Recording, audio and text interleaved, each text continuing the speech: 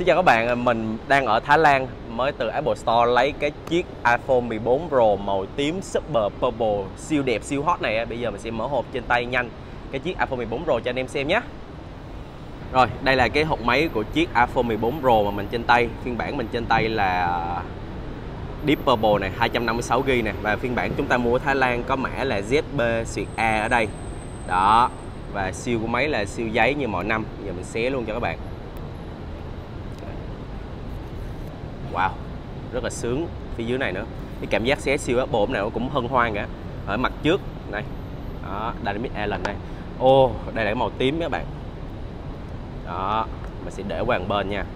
Cầm máy rất là đẹp. Đó thì nữa mình nói kỹ sau. Thì uh, trong cái hộp máy này thì cũng rất đơn giản thôi. Chúng ta sẽ có một cái cáp USB-C to Lightning và đây là một vài thứ bên trong gồm khe chọc sim nè sách hướng dẫn sử dụng về cái Apple sticker thôi rất là đơn giản. Mình sẽ để nó qua một bên. Rồi đây là iPhone 14 Pro màu tím. Đó. Mặt trước đây mình sẽ xé siêu ra luôn. Rồi. Rồi các bạn có thể thấy rằng là cái cụm Dynamic Island này nếu mà khi máy chưa mở nguồn lên đó, thì nó đang hai cụm riêng biệt. Bao gồm một cái camera selfie và một cái uh, cụm cảm biến ở phía bên dưới cảm biến Face ID rồi, mình sẽ, trong khi đợi máy lên thì mình sẽ nói nhanh về cái màu tím này. Thì cảm nhận của mình đó là nó không có tím sáng mà nó tím đậm, đúng như cái tên của nó là Deep Purple. Đó. và khi các bạn ở ngoài nắng thì nó sẽ ẩn màu tím lên như thế này đây. Nó theo hướng tím mà pha màu xanh đen nhiều hơn á. Và đặc biệt mình rất là thích cái phần viền thép này. Thì nó ánh tím rất đẹp, cực kỳ đẹp nha các bạn. Đó, nhìn cái cách hoàn thiện rất là sắc sảo. Đó, rồi và mình sẽ nói nhanh nha. Và khi mà mở máy lên đó các bạn có thể thấy rằng là cái camera selfie phía trước và cái dynamic island bây giờ nó sẽ chung thành một cụm như thế này. Ok viền ở trước cũng rất là mỏng. Thì anh em có thể thấy rõ rằng là cái loa thoại của máy bây giờ nó sẽ được ờ, làm khoét lên như thế này đây, ở trên cái phần viền đen ở đây. Nó vẫn đủ mỏng mà thôi. Đó, và cái phần viền ở phía trước nhìn rất là cân đối. Và nó cho một cái cảm giác lạ mắt hơn khi mà nhìn cái phần tai thỏ và notch như là những thời iPhone trước đây rồi khi mà mình sẽ up vô máy rồi thì mình sẽ nói kỹ hơn vào phần màn hình trước nha. Thì chúng ta sẽ có một cái màn hình uh, kích thước 6.1 inch trên iPhone 14 Pro như này đây. Và cái điểm mà đang đập vào mắt chúng ta và gây chú ý nhất đó chính là cái Dynamic Island này của Apple. Thì các bạn có thể thấy rằng là cái kích thước của nó có thể không nhỏ hơn là cái cụm notch của uh, iPhone 13 Pro trước đây. Apple biến hóa cái đảo thích ấn này thành một thứ rất là thông minh khi mà chúng ta sẽ sử dụng những cái app mà nó liên quan đến Dynamic Island này nó sẽ tương tác với cái phần cụm trên đây.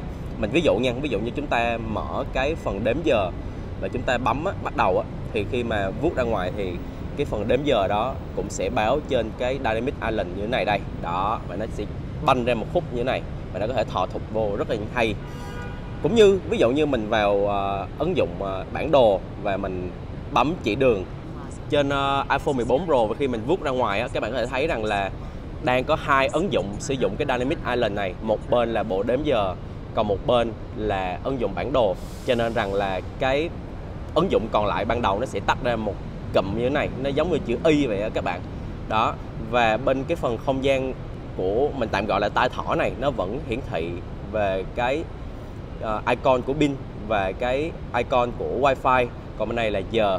Đó và nếu như chúng ta chọn vào thì chúng ta sẽ đi vào thẳng cái ứng dụng đó, ví dụ như map hồi nãy mình đã chọn hẳn vào nè, cũng như nó bấm vào đây, thì nó sẽ quay lại cái phần đếm giờ.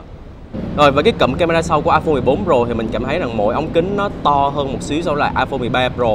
Và cái camera chính trên iPhone 14 Pro bây giờ có độ phân giải lên tới 48 megapixel. Và Apple đã gộp lại bốn cái điểm ảnh nhỏ thành một cái kích thước điểm ảnh lớn mà Apple gọi là web pixel để mà có thể chụp ra bức ảnh nó nhiều chi tiết hơn. Và cái camera tiếp theo là cái camera ultra wide, góc siêu rộng, vẫn có độ phân giải là 12 megapixel. Và cái camera telephoto có độ phân giải là 12 megapixel. Đó. Và cái điểm giá trị của cái telephoto trên iPhone 14 Pro năm nay đó chính là cái chế độ zoom 2x mới. Đó thì ờ, chúng ta sẽ có nè một cái hệ thống camera từ nhà tới trường luôn. Ví dụ như khi ờ, chúng ta đang ở chế độ 1x là chụp tiêu cự 23mm và khi lên 3x là 77mm và chúng ta sẽ có thêm một cái tiêu cự 48mm mới nữa. Và khi mà Apple họ sử dụng cái công nghệ Quad Pixel ờ, bốn cái điểm ảnh lớn á, thì ở cái chế độ 2x này thì Apple sẽ sử dụng những cái điểm ảnh nhỏ đó để mà chụp ra cái bức ảnh nó có chất lượng là 12 megapixel thì nó vẫn sẽ đạt được một cái chất lượng tương đương với lại uh, chất chất lượng là zoom quang là optical zoom. Đó vẫn đáp, cái bức ảnh của các bạn vẫn đảm bảo chi tiết chứ không phải là zoom số như bình thường và khi chuyển sang góc siêu rộng như thế này đây. Đó và Apple cho rằng là cái camera góc siêu rộng trên iPhone 14 Pro năm nay là uh, chụp thiếu sáng tốt hơn đỡ noi hơn.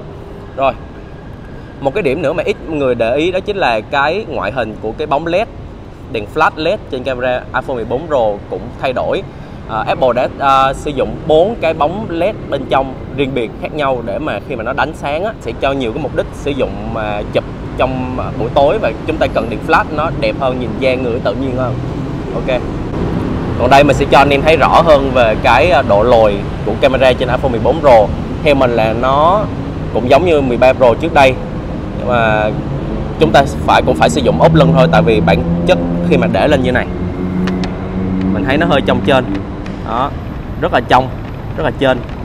Như này đây rồi. Và cái phiên bản Thái Lan á là chúng ta vẫn sẽ có khe sim tại vì uh, máy iPhone 14 Pro chúng ta vẫn sử dụng một sim vật lý và một eSIM ở đây. Và chúng ta có một cái phần gạt nút silent nút tăng giảm âm lượng. Rồi ở phía trên ta có cái phần loa thoại khét khoét lỗ đây mình đã nói lúc nãy rồi ở phía bên đây chúng ta sẽ có một cái nút nguồn. Tất cả đều là viền thép không gỉ hết. Rồi phía dưới chúng ta sẽ có cái giải anten cái loa ngoài và cổng landing vẫn sử dụng landing nha anh em.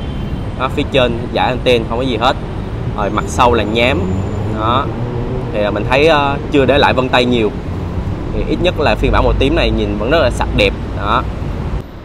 Ở chung quy lại thì cái trải nghiệm đi Thái Lan mua iPhone 14 Pro của mình à, khá là thú vị nhưng mà mình thấy nó cực quá à, nếu như anh em ở Việt Nam mà quan tâm iPhone thì mình nghĩ rằng là anh em nên đợi ở Việt Nam bán chính hãng luôn. Thì cái việc anh em mua nó tiện hơn. À, theo mình nha năm nay giá iPhone ở Việt Nam rất là tốt rất là dễ tiếp cận. Cái thứ hai là có hàng rất sớm mình nghe đâu là đã cuối tháng này cuối tháng 9 này là anh em đã có hàng rồi. Cho nên rằng là mình vẫn khuyến khích anh em là nên mua iPhone chính hãng ở Việt Nam hơn cũng như là cái việc mà anh em bảo hành hay uh, mọi chính sách mua hàng gì đó nó cũng dễ dàng hơn. Với mình thì iPhone 14 Pro là một chiếc máy rất là thú vị khi mà cái Dynamic Island này. Thì khi mình quay video này mình trên tay cho anh em thì mình cảm thấy rằng là mình có nhiều cảm xúc hơn với chiếc máy này cũng như là cái Dynamic Island nó riêng. Thì mình hy vọng rằng là mình sẽ có nhiều thời gian trải nghiệm chiếc máy này hơn và chia sẻ cho anh em nhiều hơn trên tinh tế.vn chắc chắn rằng bọn mình sẽ có nhiều nội dung khác về iPhone 14 Pro nữa. Và đây mình là Tiến đến từ tinh tế.vn iPhone 14 Pro Deep Purple tại Thái Lan.